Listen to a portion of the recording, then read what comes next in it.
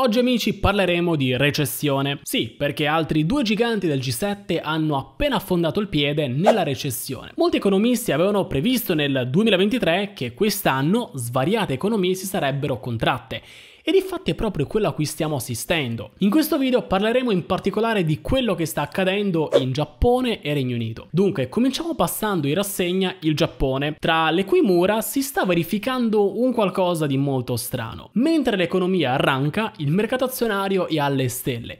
L'indice Nikkei, che raggruppa le 225 società più grandi con sede in Giappone, ha raggiunto il massimo degli ultimi 34 anni. Da inizio anno invece è su del 15%. Ma a cos'è dovuta questa anomalia?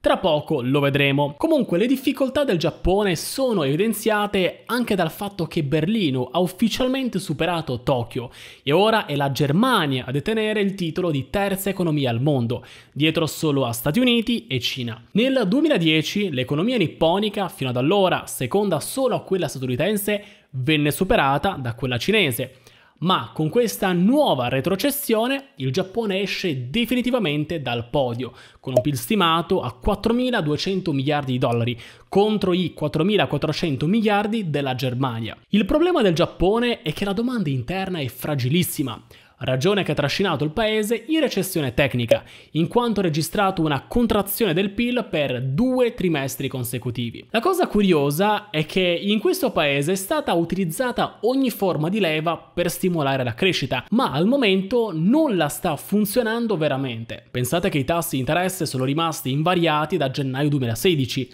anno in cui la banca centrale ha introdotto il tasso di interesse negativo a meno 0.1%. Ciò significa che la banca centrale ha deciso di applicare una penalità agli istituti finanziari che depositano i loro fondi in eccesso presso di essa, al fine di spingerli a prestare di più all'economia reale. Questa è una misura di stimolo monetario che mira a combattere la deflazione e a rilanciare la crescita. Con un tasso di interesse negativo, prendere un prestito di certo non è un problema e di solito questa misura tende a stimolare i consumi. Il problema, sapete qual è? È che in otto anni tali misure super accomodanti hanno prodotto scarsi risultati. I giapponesi non vogliono proprio spendere. Per farvi capire quanto sia difficile la situazione situazione attualmente, vi basti osservare questo grafico che ci mostra come la spesa delle famiglie giapponesi si è contratta per 10 mesi di fila. L'ultimo dato che abbiamo è quello di dicembre, durante il quale la spesa è scesa del 2.5% rispetto all'anno precedente. Questo è un aspetto negativo anche per l'Occidente, perché indica che il Giappone sta acquistando poco dai mercati internazionali. È più che evidente anche da quest'altro grafico, che ci mostra il cambiamento percentuale del valore delle merci importate dal Giappone rispetto allo stesso mese dell'anno precedente. Le importazioni nel paese sono diminuite mese dopo mese per tre trimestri consecutivi. Per esempio, dicembre ha visto un calo di quasi il 7%. Ora che la potenza nipponica è affondata nella recessione, la banca centrale è costretta costretta a mantenere i tassi bassi. Il punto è che questo crea un altro problema, ovvero indebolisce il potere d'acquisto dello yen. Infatti dal 2016 la moneta giapponese ha perso oltre il 30% del suo valore sul dollaro. Però una cosa strana che sta accadendo allo stesso tempo è che nonostante lo yen sia debole, la domanda estera verso i prodotti giapponesi non ha preso il volo.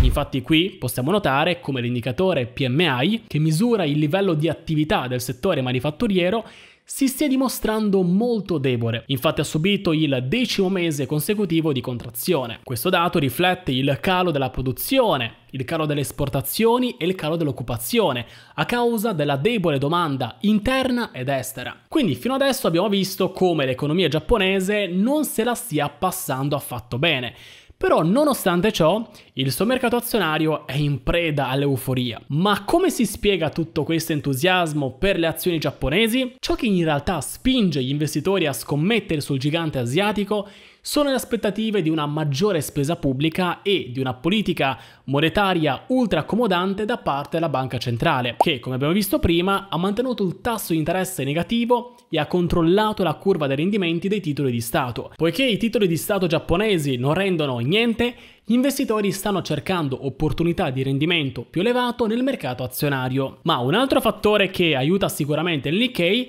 è anche la debolezza della Cina che in assenza di corposi stimoli monetari costringe gli investitori ad approdare su altri lidi. Però a sprofondare recessione tecnica non è solo il Giappone ma anche il Regno Unito. Purtroppo questa è una pessima notizia per il primo ministro Sunak, che quando entrò in carica promise che l'economia britannica sarebbe rinata sotto la sua guida, ma per il momento le sue promesse sono solo parole buttate al vento. A gennaio 2023 disse che l'economia britannica sarebbe cresciuta durante tutto l'anno, Peccato però che non sia successo.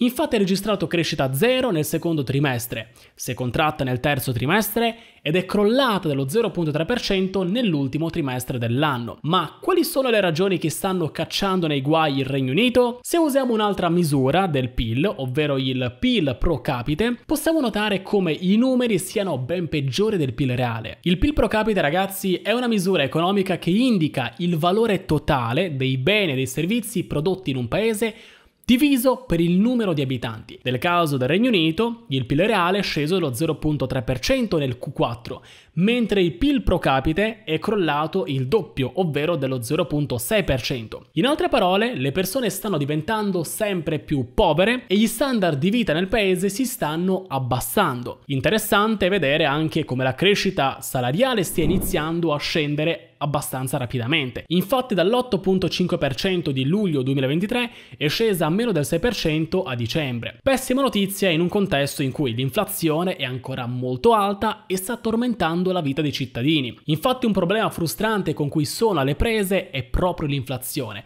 decisamente più appiccicosa della nostra. Fra tutti i paesi del G7, quella del Regno Unito è la più alta e la più persistente. Infatti l'indice dei prezzi al consumo è ancora al 4%, mentre l'inflazione che esclude cibo ed energia ha segnato un più 5.1% a gennaio. Quindi è qui che ci rendiamo conto delle ragioni per cui i cittadini si sentono alle strette e sono costretti a stringere la cinghia sui consumi. La crisi inflazionistica nel paese è tutt'altro che finita, ragione per cui la banca centrale non può permettersi di tagliare i tassi e stimolare nuovamente la crescita. In caso contrario, si rischierebbe di vedere la curva dell'inflazione riprendere a salire piuttosto che scendere. Comunque, adesso a pensarci, un'altra cosa che mi lascia un po' perplesso, devo dire, è che il Regno Unito, nonostante sia in recessione tecnica, continua a finanziare Kiev con miliardi di dollari. Infatti il primo ministro Sunak ha annunciato che il suo paese fornirà 2.5 miliardi di sterline di aiuti militari all'Ucraina nel corso di quest'anno,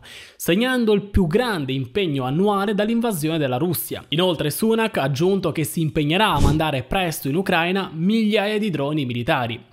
Non so voi, ma io ho la sensazione che alcuni paesi europei stiano virando sempre di più verso un'economia di guerra, dove si producono più armi per far crescere il PIL.